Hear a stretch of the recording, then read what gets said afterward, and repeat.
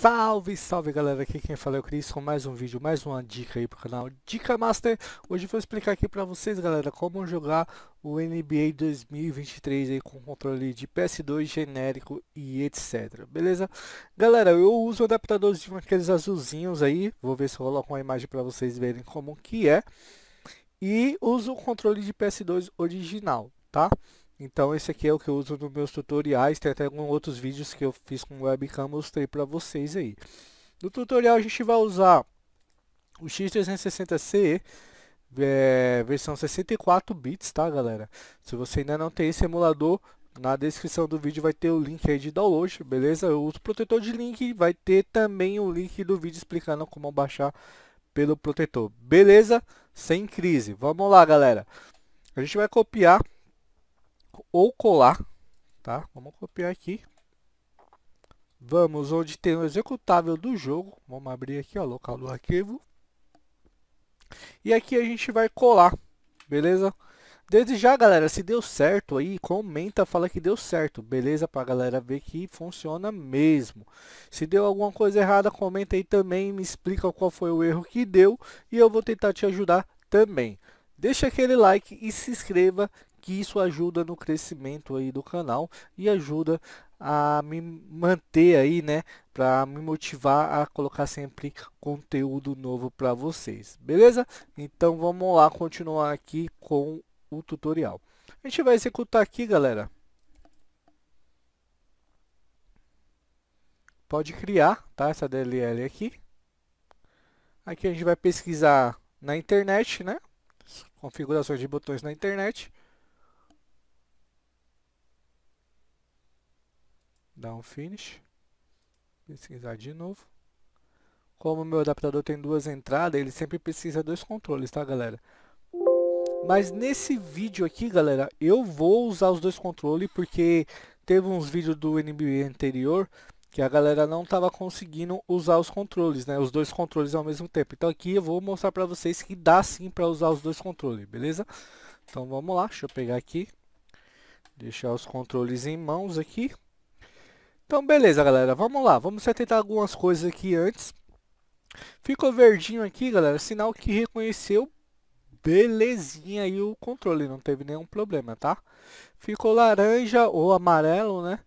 É, reconheceu, mas teve algum problema, algum erro. Pode ser que não funcione legal. Ficou vermelho, não reconheceu, então você não vai conseguir usar. Ou, pelo menos, né, na teoria, você não vai conseguir usar.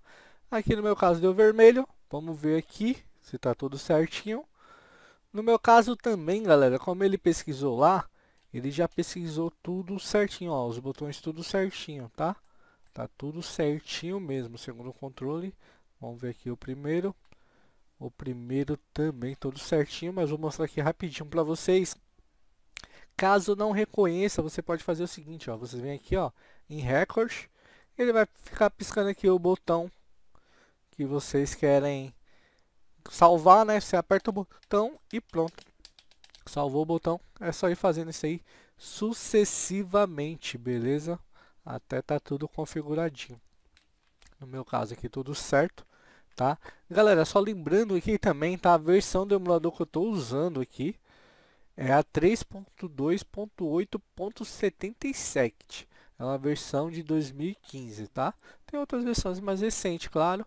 Mas caso dê alguma coisa aí, alguma coisa errada, vocês podem ter, também estar tá tentando uma outra versão aí. Beleza? Então vou dar um save aqui. Vou fechar.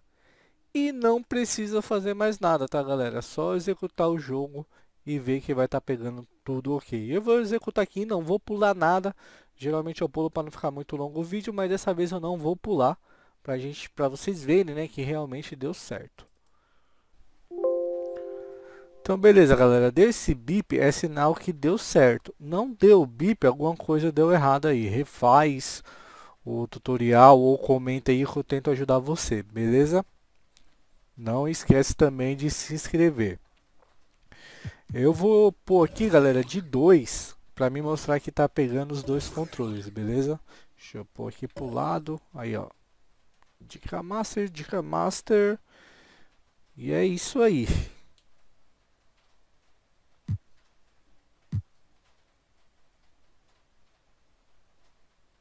Hello, basketball fans. You've got Allie. It's all Thanks, Brian. Well, Steph rapidinho. Curry asked to defend. eyes on the prize, Allie. Thanks.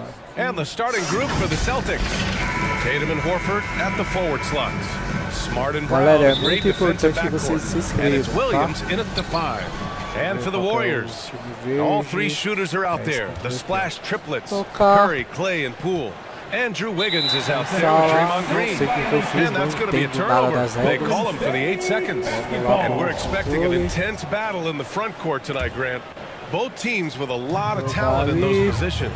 You know, Correr, BA, it'll be an interesting matchup here with the talent and size of their front court. It should make this game Galera, extra como eu tava challenging falando, for these muito squads. importante que They can't just vocês count on being the dominant se force inscrevam, down low. tá? They'll have to get a little creative. mesmo.